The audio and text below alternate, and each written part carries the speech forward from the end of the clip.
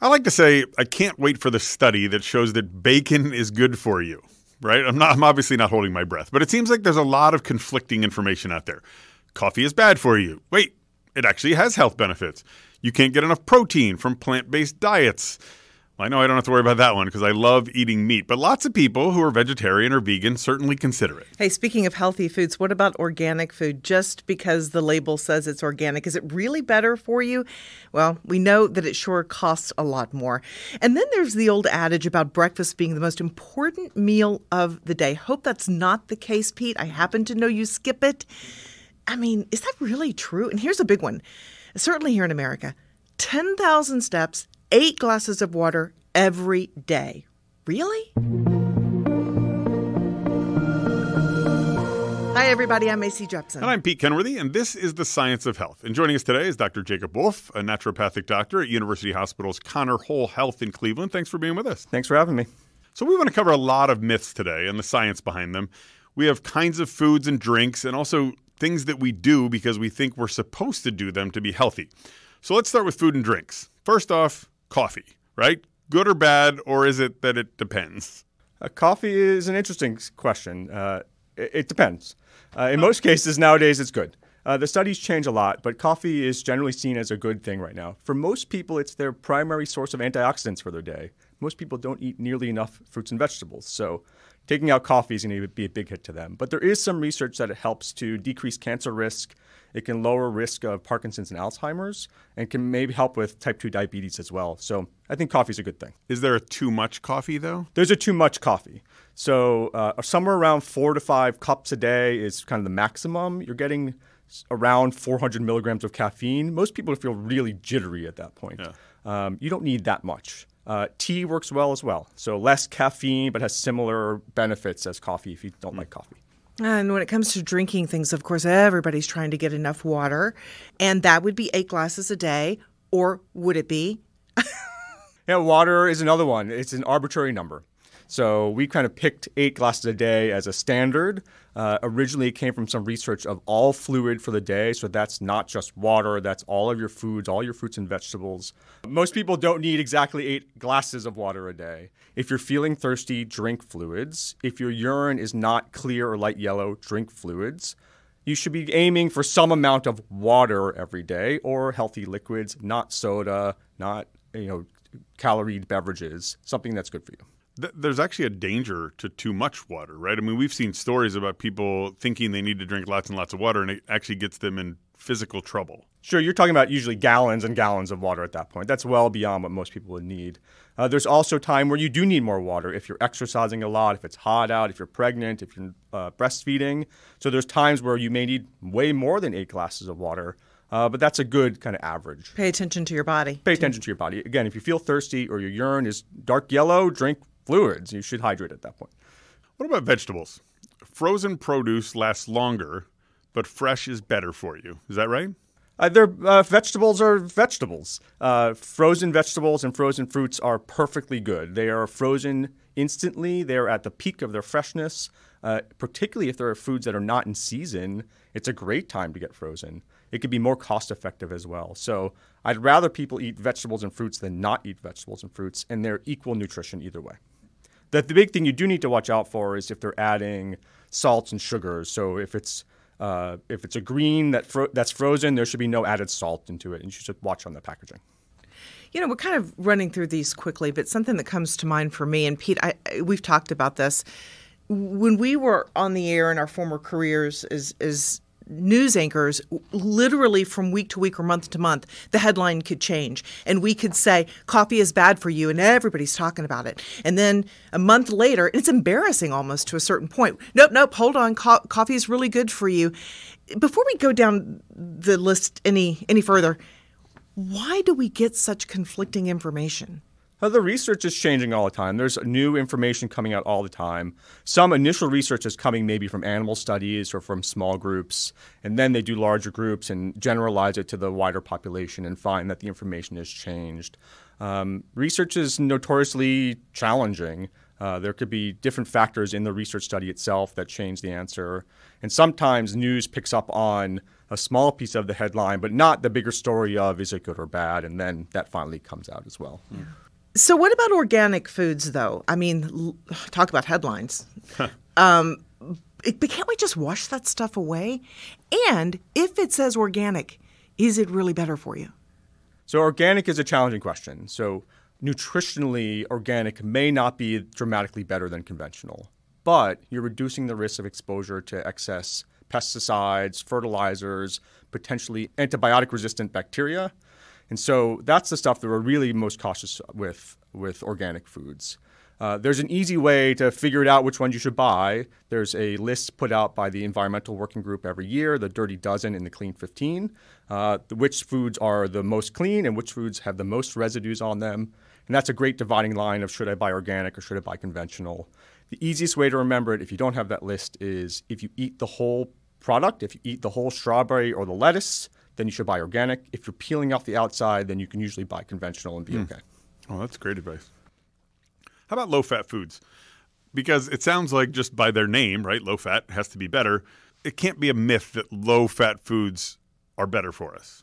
That that can't be a myth, right? They have to be better for us. Yeah, uh, low fat and fat is a category that's changed a lot over the last decade or two. In the 90s, fat was bad. Now we've to- totally changed our tune. Uh, fat is good. There's important benefits to our health with fat. Um, low fat can be beneficial sometimes with things like whole, with dairy, uh, with other types of fats, but we need fats in general to live. Um, there are a lot of good fats. Nuts and seeds, avocados, olives are great fats that we need every day. And we're even changing our tune on saturated fat. That we're looking more at where is the fat coming from versus just fat or not fat. So getting some fat from a healthy piece of grass-fed steak uh, is better than getting the same amount of fat from a cupcake or a donut. Uh, there's there's differences in types of fats. And along those lines, I've often wondered when, especially when you go fat free in a margarine, what's left, and can that? It's got to be bad for you eventually when you're processing it down to Nothing. Nothing. Yeah. It, it, whenever I see free, whether it's gluten free or fat free, it means that we're adding in a whole bunch of other chemicals to make it work. So if you're taking out fat and presenting someone with margarine, which is fat, what's in there? Now you've made it into trans fats. You made it into really exceptionally bad fats that are, we know are harmful for your health. And so making it fat free, a product that should be fat, is really bizarre. But fat free products that don't have that in are using lots of sugars and artificial things to make it seem like it's fatty in your mouth and to your taste. Did you look at our list? Because we're talking artificial sweeteners now and sugar. what are your thoughts on that? Uh, for overall health, we shouldn't be using sweeteners at all. You know, our foods should be sweet how they are. You know, getting fruits are a natural source of sweeteners. Honey is a great natural source of sweetener, but we shouldn't be adding sugar to things in general.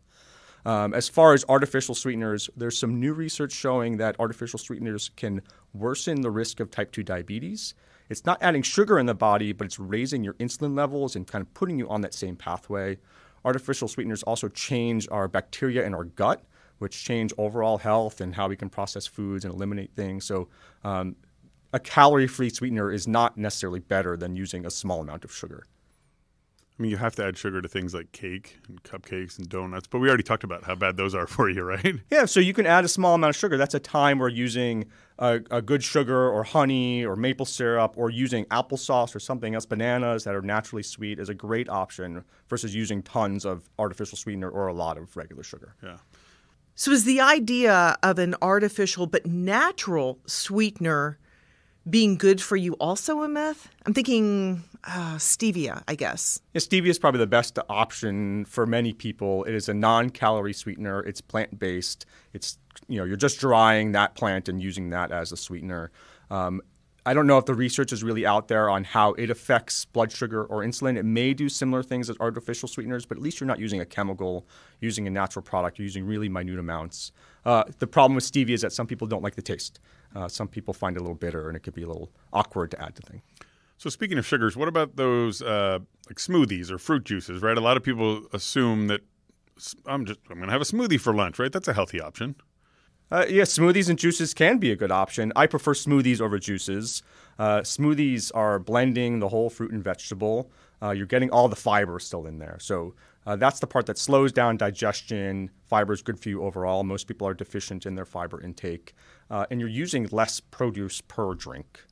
When you're juicing, you're getting rid of all the fiber. So now you're almost changing it into a soda. You're, it's just the sugar in the liquid. There's no fiber, and you're juicing a lot more produce per unit than you are with a smoothie. So now you're eating 10 apples instead of one apple. You know, there's just a lot more sugar involved with the juice. And smoothies can have things like if you go to a, a store and get a smoothie, things are added into there many times, right? Like syrups or Oh, sugars. sure. Yeah, there's a lot of things that can be added in. If you're going to get a smoothie, make sure that it's, you, you can watch them usually just putting in the fruits and vegetables. Focus on vegetables, add fruit for taste and add fruit for sweetness, but it shouldn't be all sweet fruits all the time. Right. I think when we have protein in our mind, we think about meat. And so, how would a vegetarian or a vegan get enough of that protein with a plant based diet? Vegetarian vegans have tons of options for protein. Uh, we can look at someone like Tom Brady, who's completely plant based, and he's clearly getting enough protein in his diet. And there's many other athletes who do it as well. Uh, there are beans, there's tofu, there's all your fruits and vegetables have a little bit of protein in it. Uh, you can get it from nuts and seeds, you can get it from all sorts of different places. Once you're going to vegetarianism or pescatarianism, you're adding in some animal products. So now you're adding in maybe some dairy or eggs, and then you even greatly uh, enhance the amount of protein you can get.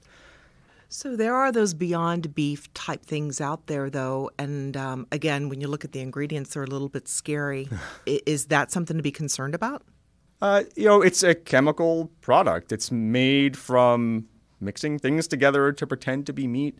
Is it better or worse than low quality uh, proteins that you can already buy in the store? Maybe not. There may be a little higher quality proteins in there than others, but it's not necessarily as healthy as eating beans or something for protein or a lean piece of chicken or fish or whatever it may be. Speaking of fish, we eat a lot of salmon in my house, but when I go shopping, I see a couple options there for salmon, right? You have wild caught salmon, and then you have the farm salmon. Is one better than the other, or is salmon just good for you because it's salmon? Salmon is a really challenging question. Uh, and the science is changing right now as well. And so we used to say that wild caught is always better than farm raised, but our oceans are getting more polluted. And so now we have less control over where wild fish are living. And so I think salmon is a good option in general. If you had to choose between salmon and, you know, hot dogs, then choose salmon, whether it's uh, wild caught or farm raised. There are uh, maybe a little bit more fats in a farm raised fish because they can add different things to their diet. Uh, there's maybe more nutrients and more micronutrients in a wild caught fish, but never adding questions about maybe there's more plastics and small chemicals or whatnot. So it really gets challenging, but uh, find the best quality you can find is the best option. This seems pretty straightforward, but something tells me it's not, and that's calcium. I- I- we need it. We all do. Women, especially as as as we age. So, either you get it out of dairy, or you get it from a supplement. Is that true? Calcium can be found in many places, and so dairy is one option. It may not be the best option for most people. Many people are sensitive to dairy or choose not to eat dairy for whatever reason. So, all of our dairy alternatives have calcium in them. Uh, non-dairy milks, non-dairy yogurts, non-dairy cheeses. We can get calcium from leafy greens, and we can get calcium from sardines, and from tofu, and from beans, and from nuts and seeds, and you can get calcium all over the place. A supplement is also a good option for those who don't like those foods, but it doesn't have to be just dairy. All right, let's talk about some things that we're told to do to stay healthy. The first one is that one that everybody talks about. Certainly, at least here in America, they do getting ten thousand steps a day. Really? Like, I, I, I feel like I've seen reports recently that that number was arbitrary. Like we talked about the the uh, 64 ounces of water, right? It's just this arbitrary number that someone came up with, but we really only need maybe six or seven thousand. Is is there a magic number? Is it person dependent? Where does that number come from? Steps a day is, is a little bit person dependent. And I actually, actually had to do some research to figure out where 10,000 steps a day really came from. And it came from an early pedometer that was called 10,000 steps a day. And that was the name of the pedometer. And that's kind of where a lot of this started. Uh, the newer research shows that for folks under the age of 60, somewhere around 8,000 steps a day is optimal. Uh, over 60, somewhere between 6,000 and 8,000 steps a day is optimal. And we can look at it at more than just steps. It's really active time. So you need to have a certain number of minutes of either moderate or vigorous active time based off your age. And it's just trying to get people out and about. So if you don't like walking, do something else. It doesn't have to be, oh, I swam today, but I only got 10 steps.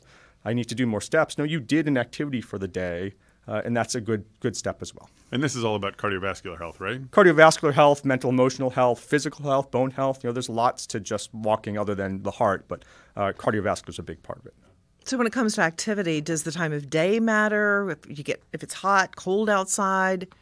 Uh, yeah, for exercise, exercising in general, any time of day is good. That's the first step. Um, there are some benefits to exercising in the morning. Some people find it better uh, to do in the morning just as part of routine and habit. They may have more free time.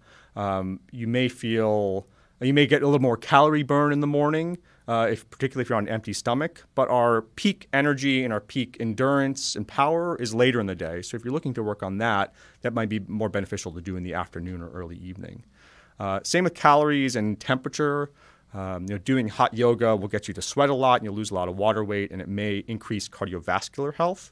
But exercising in cool weather increases calorie burn. Your body needs to exercise and use utilize all that energy, but also keep you war- warm and regulate temperature. So uh, there's a higher calorie burn in, in, cold. When I lost 25 pounds a couple years ago, part of how I did it was cutting out breakfast. I guess that's a form of intermittent fasting, right? But I kept thinking about that old adage of breakfast is the most important meal of the day things have changed with this, right?